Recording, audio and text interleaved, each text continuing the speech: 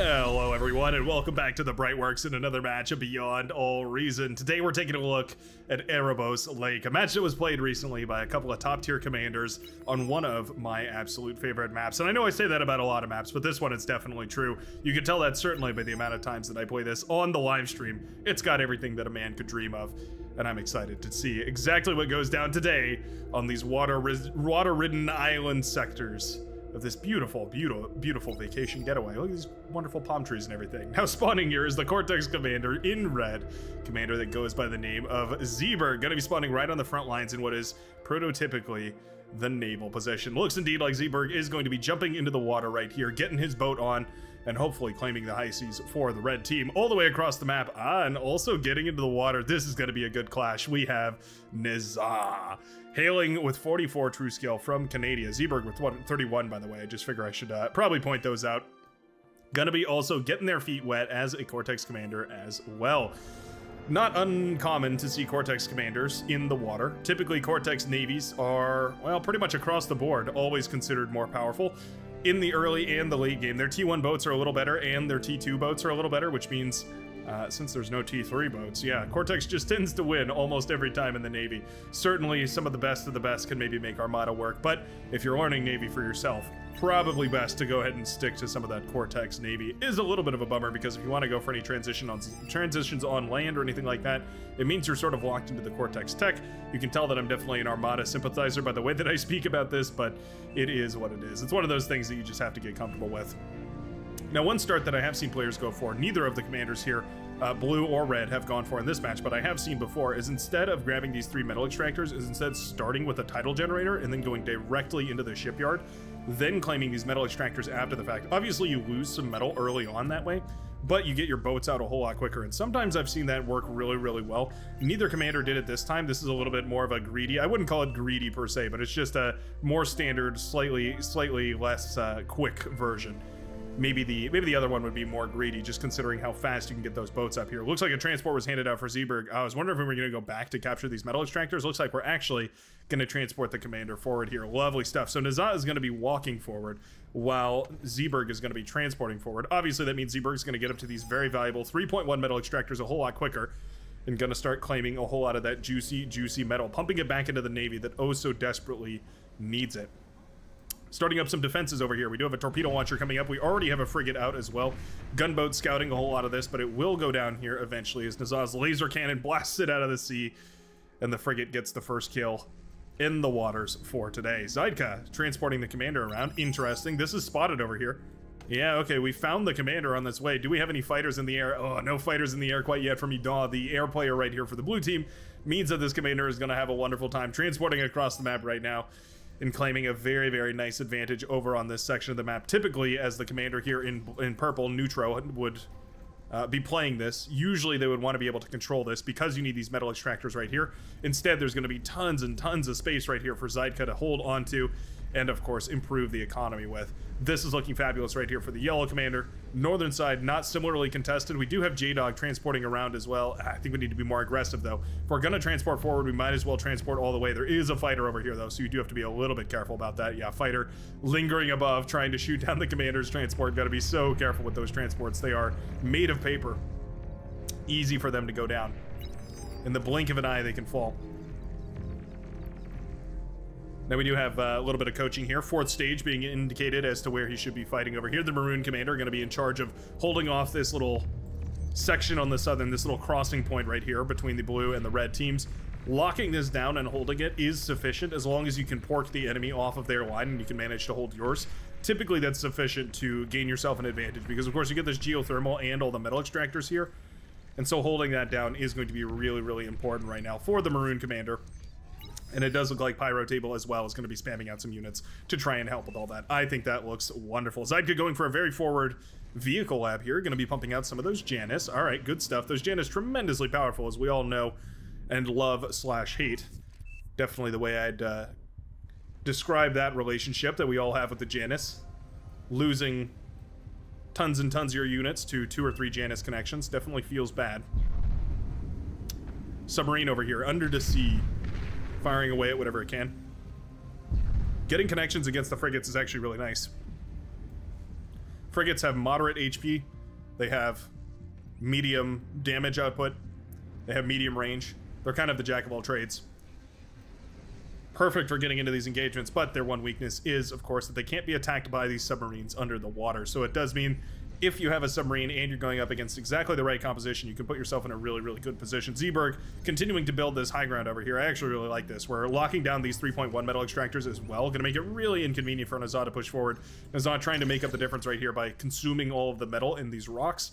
It's a good boost of metal right now, but I don't know if it's going to be worth it uh, compared to the amount of metal that these metal extractors are pumping out per second. You can see 920, uh, even more, 950 metal per second currently available right here for the Red Commander. We desperately need more energy production. I think all of these constructors need to start working on tidal generators. We need to nearly triple our power before we're going to be able to keep up with the actual metal production we've got. Obviously risky to start investing in power if your opponent's investing heavily in Navy. There we go. Yeah, more solid power infrastructure set up over here for the blue commander. Still though, neither commander making that crazy investment into tidals. I'm a little bit surprised by that. Tidal speed of 20 is not as efficient as solar panel, or uh, pardon me, as fusion reactors, as efficient as solar panels. I think tidal speed would have to be pretty much abysmally low to be worse than a solar panel. I think it'd have to be about 10. Somebody can do the math on that, but I think it'd be around 10. Anywho, I don't know there's any map that has tidal speed that low. Typically, tidal speed is always efficient course, the limiting factor being that you have to get into the water to build tidal speed, so it all balances out. Incisors getting a catch on one of the constructors over here for Golden Arrow. That's quite nice. Shutting down some metal extractors too. Important to recognize the value in doing that. And gonna get a couple more over here as well. Yeah, you know what? I don't mind it whatsoever. There we go. A couple more metal extractors going down, and the amount of time it's gonna take to rebuild those is the real winner here. These metal extractors are gonna be down for a good long while. Unless Golden Arrow can go rebuild these, then these are going to stay down until we can get a constructor back over there to resaturate those metal extractors. We do have medium tanks coming out right now, and we should definitely be diverting them to try and clean up these incisors. Eventually we will. There we go. Medium tanks slowly but surely shutting all this down. Two of the incisors have fallen. There's a third. Let me get those pings off your screen. There we go. And the fourth one under fire here as well.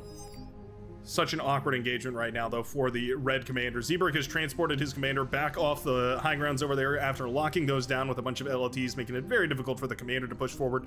Pretty much the only option is to use your commander to push forward right there. N'Zoth, uh, okay, we're doing a, a little LLT battle here.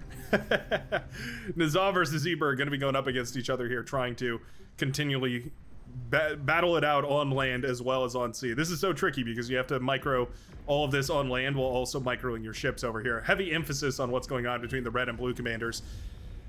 But I gotta say, the naval fights are always so tense. One bad engagement and the whole thing can flip on its head. You can be in a really, really tough spot all of a sudden. Big push over here on the right-hand side is the yellow commander sends forces forward. Zeidka into neutro. Oh man, every time those Januses fire, sends shivers down the spine of whatever their target so happens to be. A lot of missiles headed towards the purple commander over here, down to 51%. Only takes a couple of connections from those Januses, a couple of clean connections. Oh, to blast a commander to smithereens. At this point, the medium tank run by has opened up the opportunity for Zeidka to send infantry forces forward, and there we go. Metal extractors fall as well as all the shell shockers. Zeidka's commander looking pretty rough for wear here. 28% on the yellow commander, but certainly not unhappy with the way that trade just went. Those medium tanks are in the base now, and they do pop a bunch of the metal extractors. Yeah, this is a, a, really, really nice bit of damage right now. Capitalizing on that metal advantage from transporting very far forward early on. Here we have some Garpikes pushing forward as well. Going to be quite nice. Garpikes do a huge burst of damage. They fire very slowly, but the shot that they do fire does a pretty good amount of damage. Makes them very good for specifically targeting down, for instance, the static defense structures. Edod transported over here, but the Purple Commander has already fallen along with the base over here, which is going to be really, really nice. Medium tanks going on a rampage through the blue players' productions. Uh, Edon, a lot of trouble. Yeah, Janus is continuing to fire away here. Almost got another shot off, too. I think that shot might have killed that commander if it had happened. And these medium tank, this medium tank infantry push is extremely effective. Lovely, lovely stuff. Fighters are pulled as well to shoot down any shurikens that are holding up this progress. This is an excellent opportunity for Zeidka to go for T2 if they so choose to. N'Zoth with the LLTs has managed to blast down two of these metal extractors up here, but has not claimed their own. Means that the advantage is still heavily in the favor of Zeeburg here on the on the on the land and in the seas. T2 constructor transported over right now. We'll get to work on these land-based T2 metal extractors as well. Always really, really good stuff. Zeeberg keeping the fight up, continuing to build LLTs, making sure that N'Zoth can't progress forward here. We have a uh, yeah coastal torpedo launcher. Not going to be very good against the commander, but certainly going to be all right against any ships, for instance, that tend to go in this direction. Or if the commander retreats into the sea, that's another option. As we do start to see quite a spread of composition over here, actually. Yeah, we've got destroyers, frigates, missile ships, all sorts of stuff. Real quickly, want to check on this northern side as we do see Holdorini. Yeah, Holdorini. Holdor. Maybe that's what that's a reference to. Anyway, Holdorini going up against Ed Kaizakam. There we go. Ed, Ed Kaizakam, the pink commander, who's going for an agitator right now on the front lines. This agitator is well within range of everything right here that the poor, unfortunate powder blue commander has on their back. But there's also a gauntlet here to fire away as well. So there you go. Gauntlet and, namely, a radar jammer over here. Radar jammer blocking out any of the radar signals. If we switch to the pink commander's view right now, you can see we are aware of what's going on over here, but we don't have any radar signature for it. So currently we're gonna have to dumbfire this. There we go. Gonna start firing back at the base over here for the powder blue commander, and we're gonna have ourselves a good old fashioned duel of the cannons. Those, uh, those walls actually doing a great job of tanking right now. There we go, sending the tanks forward. Big old Centurion ball over here. I'm actually curious to see how the Centurions do against all this. They kind of got the ideal circumstance here. They've got the walls in front to protect them. Ah, but they're not tall enough to shoot over them. Hmm, interesting. Well, there we go. Medium tanks take down the gauntlet here. Commander in a whole lot of trouble as well. Oh no, Commander. Boom goes the Commander, opening up that line very nicely right here for the pink Commander. Gauntlet is still dumbfiring. Got to be careful about that. Might shoot our own troops in the back here in just a second. Oh, oh. Oh, we didn't. Wow. Nice micro right there. That's some heavy APM usage right there. Spending it all on saving your troops from your own friendly fire. APM well spent, I would say. Just a good old-fashioned T1 army, moving forward. Yeah, I mean, Zydka's got the advantage, why not capitalize on it? And here we go. Tanks rolling around all over the place. We're capturing the metal extractors continuing to eat up all of the units over here as well. Some nice D-guns right there from Rika. Eating up a whole, or well, D-gunning down, I should say, a whole bunch of those medium tanks, shut them down. Really one of the only efficient ways to kill those medium tanks before you get into T2, T3. Using that D-gun to wipe that metal clean off the face of the map. Janus tank's not bad against medium tanks either, just for the fact that their splash damage does a little bit of impulse, slowing and stunning those tanks ever so slightly, making them a better target for everything else. That being said, even the mighty Janus is not capable of one-shotting the medium tank. Really the only efficient way of doing that. N'Zoth, sneaky beaky like, moving his way under the seas here. A tremendous naval fight, by the way. Took my eyes off it for just a minute, and you can already see wonderful, wonderful presence right here from the Red Commander who's won the fight and has used the res subs to now patch up some of these boats, send them back to the front line, and also has all this juicy metal to more than happily use on new boats. Zeeberg trying to get up this hillside here. Actually taking quite a lot of firepower. Got to be so careful about that. LLTs will kill this red commander near instantaneously. Meanwhile, N'Zoth is running forward. There he goes. Ooh, torpedo launcher's pretty good, though. Commander can't maintain that cloak forever. Despite trying. There we go. Commander stops moving, means it's in range to capture. Oh no. Oh no. Capture command goes down right here from the blue commander, capturing these torpedo launchers, turning their sides.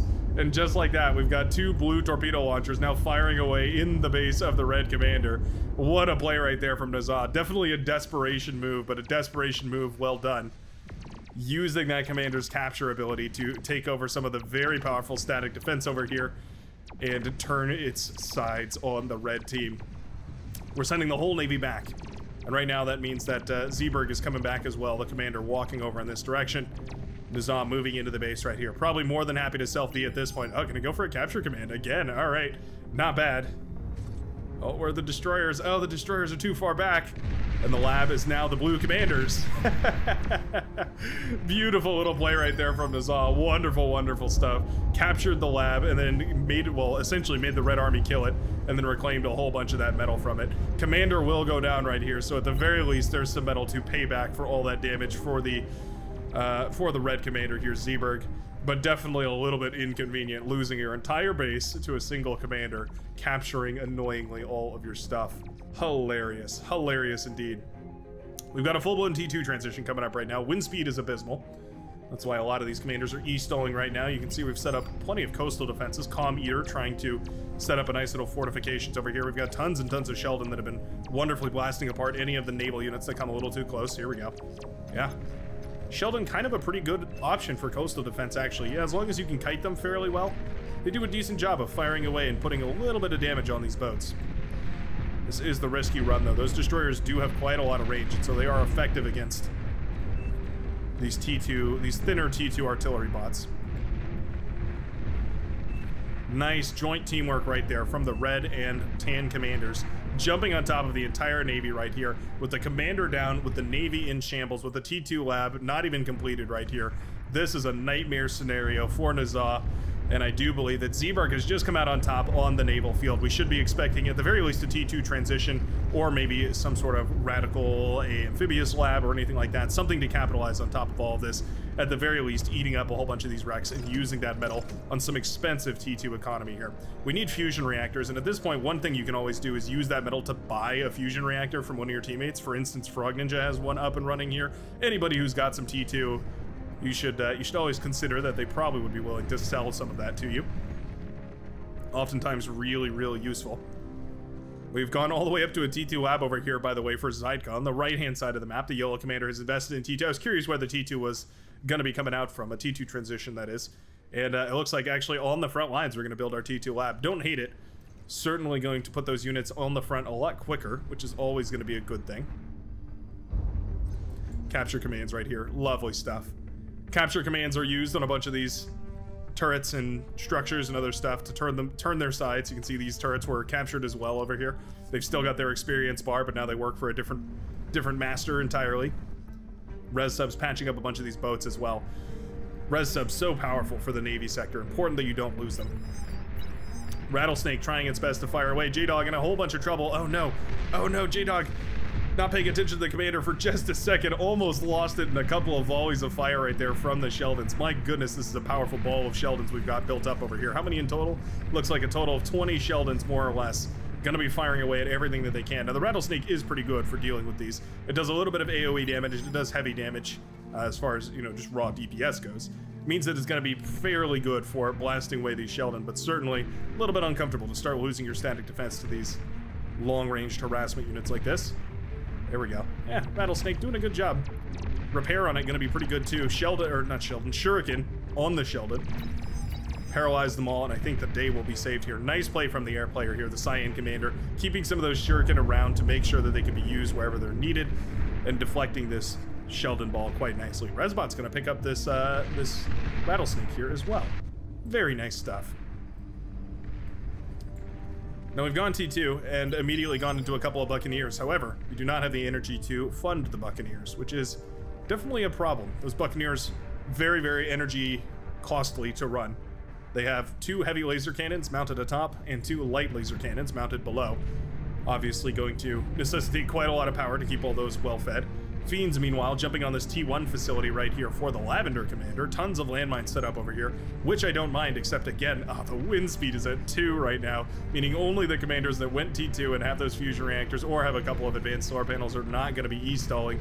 But it also means, of course, that LLTs and landmines, everything that needs power to stay cloaked or fire, not going to have that power here. Heavy tanks now ready to roll forward, and the landmines would be a decent solution to the heavy tanks, if only they could remain cloaked here. Oh no. Big chain reactions right now as the landmines are flashing. Oh, we need to stop. We need to stop production on everything so the landmines stay cloaked here, but not going to be the case. Down they go, blasted to smithereens because there wasn't enough energy to fund them at 2 wind speed, well 5 wind speed now, but still very, very low right here. And that is going to be the end of the Lavender Commander. Never truly rebuilt their base, lost their T1 production facility. T2 falling right here as well to the Red Navy. Shuriken coming in to try and save the day. Yeah, there are missile boats, though. Uh, is it going to be enough? Missile boats shot down a lot of those Shuriken, meaning most of these are going to come back online here any second. There we go. Looks like we don't have the EMP rework on, so these are back to full effectiveness as soon as their EMP is turned off. We have uh, torpedo bombers aiming at the commander over here somehow. Ah, torpedo bombers. They only work so tremendously on the open ocean or otherwise against some big long stretch of sea where they can actually use their uh, their long range bombing capabilities. Otherwise, they can be quite uh, quite underwhelming. Big T2 push to counterattack on this northern side. Green Commander sending forward, J-Dog 75 sending forward a whole bunch of units right now, but it's mostly Hounds. Ah, we had a couple of Welders in the mix here, but I think if this was a Welder heavier composition, we probably would have seen a little bit more success here. For the most part, these Hounds should almost always be used as a backline support fire unit. And right here, walking to their doom, there they go. Blasted to smithereens by the Sheldon. That had no mercy, tearing those all apart. Here comes a big swell of pawns as well. This is just a bunch of pawns built from the early game. Still finding some value here. Taking down wind turbines, taking down whatever they can. The blue economy is in shambles now. Zeeburg has made landfall. Gonna be headed directly towards the economic base of the Cyan commander over here, passing the green along the way. Yellow commander using that T2 advantage against those poor, unfortunate T1 souls down on the low ground here. Hound's trying to clean up a lot of it, not having much effect. Mauser very powerful as well, even against those T2. I've explained this before, but the T2 advantage, there's there's vehicles typically tend to be stronger against bots. It's kind of just the way that the game is balanced. And that advantage exists in the T2 world as well. So T2 vehicles are generally going to be better than T2 bots, just on a one-to-one -one scale. Zeeburg in a little bit of trouble here. are we capturing the last known constructor of the Blue Commander? Yeah, okay just messing with the poor unfortunate N'Zoth as he loses his last command or his last constructor right here. He's trying to rebuild, but Zeeburg not having any of it. Moving towards this geothermal over here. Oh, are we gonna capture it? Oh, we should totally capture it and then self-destruct it. We are, aren't we? Oh, well, we're getting a little close here. Okay, well, that works. There we go. Down goes the commander, but it takes the geothermal down with it shutting off a whole bunch of the power right here for the Seafoam Green Commander. Not that it's going to matter as the Bulls start to march forward. Neutro apparently revived and sent right back to hell. Down he goes. And here come the Bulls to ruin the day of the poor unfortunate Rika.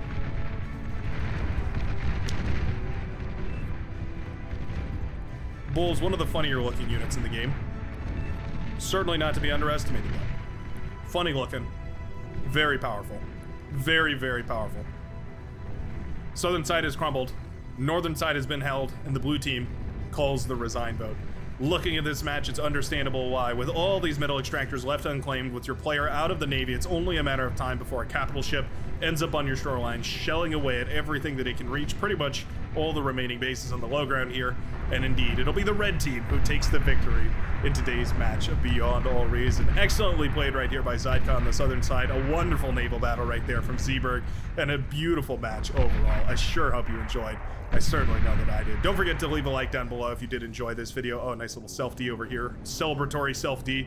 Uh, and subscribe as well if you'd like to join the Brightworks for daily Beyond All Reason cast. Other than that, I sure hope you have a great rest of your day, and I will see you in the very next game of Beyond All Reason. Peace out, Commanders.